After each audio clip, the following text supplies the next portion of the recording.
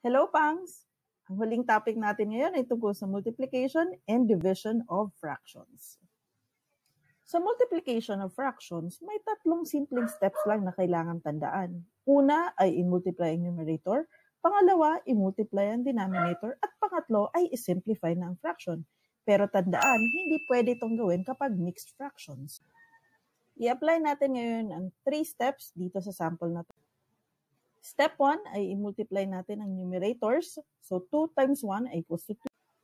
Step 2 naman ay i-multiply natin ang denominators. So 3 times 2 ay equal to 6.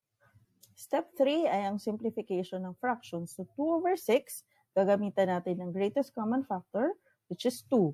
So 2 divided by 2 ay 1, 6 divided by 2 ay 3, so 1 third ang simplified form. Sa pangalawang sample na to, tatlong fractions ang imumultiply natin. So, ganun pa rin ang step natin. Ang una ay i-multiply ang numerator. So, 2 times 1 times 2 ay equal to 4. Ang pangalawang step ay i-multiply ang denominator. So, 3 times 2 times 5 is equals to 30. Ang third step naman natin ay i-simplify ang 4 over 30. So, ang greatest common factor nila ay 2. So, 4 divided by 2 is 2. 30 divided by 2 ay 15. So, final simplified answer ay 2 over 15. Sa pangatlong sample na to ay multiplication of fractions pero mixed fractions. Madali lang to. Ang gagawin mo lang is i-convert into improper fractions yung mixed fraction. Pwede mong i-check sa previous videos kung paano ang pagka-convert ng mixed fractions to improper fractions. So, ang 1 and 2 third converted into improper fractions ay 5 thirds, samantalang ang 2 and 1 half ay 5 halves. Ganun pa rin ang step natin, i-multiply ang numerator at i-multiply din ang denominator. So, ang final answer natin ay 25 over 6, which is isi-simplify natin o ang third step.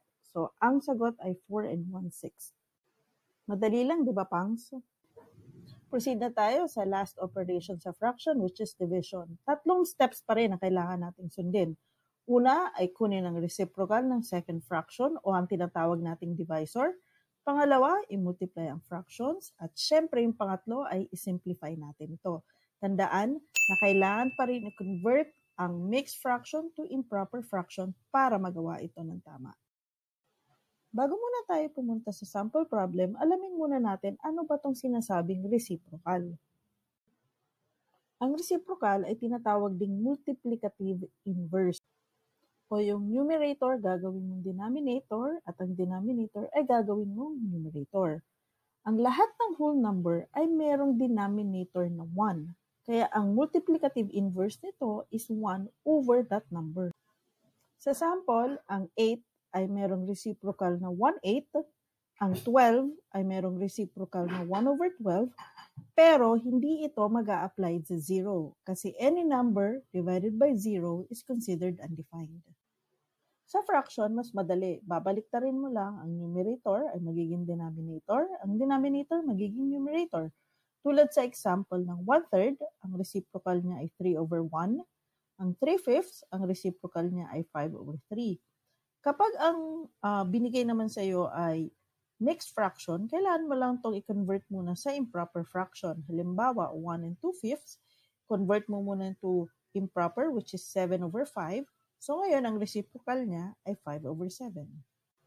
Ngayong alam na natin kung paano gawin ang reciprocal, mas madali na nating magagawa ang division of fractions.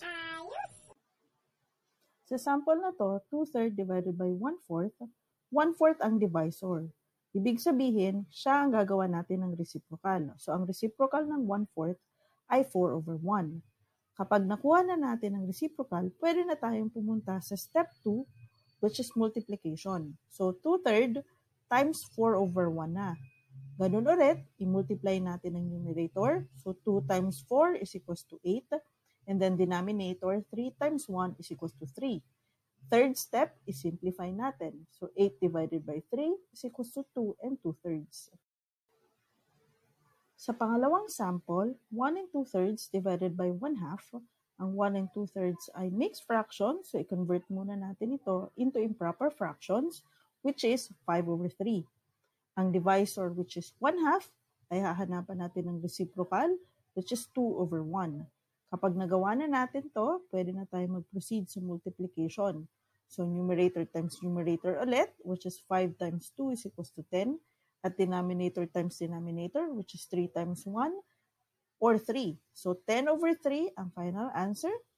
Third step is simplify natin, which is 3 and 1 third.